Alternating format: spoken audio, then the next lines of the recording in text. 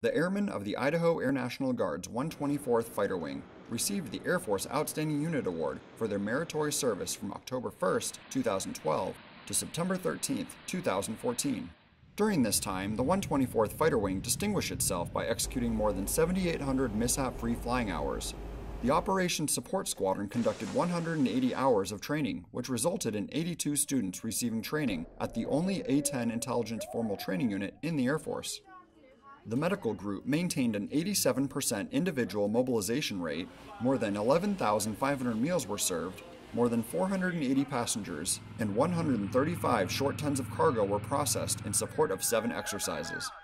The wing also created a five day NCO enrichment course with three sessions per year. The Air Force Outstanding Unit Award is awarded by the Secretary of the Air Force to units, like the 124th Fighter Wing, that have distinguished themselves by exceptionally meritorious service or outstanding achievements that set them apart from similar units. Technical Sergeant John Winn, Gowen Field, Boise, Idaho.